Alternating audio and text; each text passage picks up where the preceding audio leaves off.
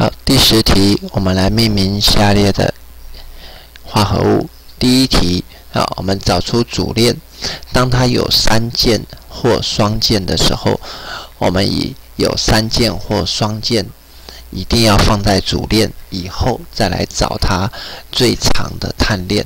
啊，所以这边的碳链如数字所标示的，啊，是横的这一条是它的主链。啊，主链。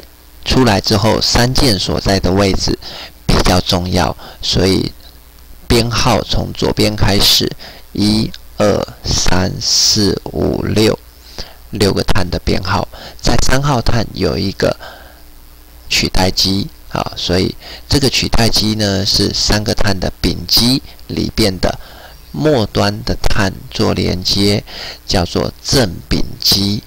好，所以在三号碳有一个正丙基，那本身的三键呢，一样跨过一号碳、二号碳，我们要选择用数字小的这一个来做标示缺的位置，所以是一号碳有几缺？好，一号碳有缺的几缺？好，第二题啊，一样三键。啊，三键在这边，那我们的主链就在横的这一条，包含三键，而且可以最长。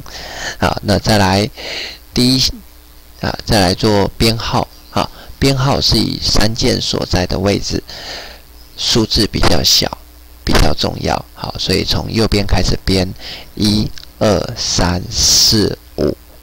好，这时候会在二跟三有三件。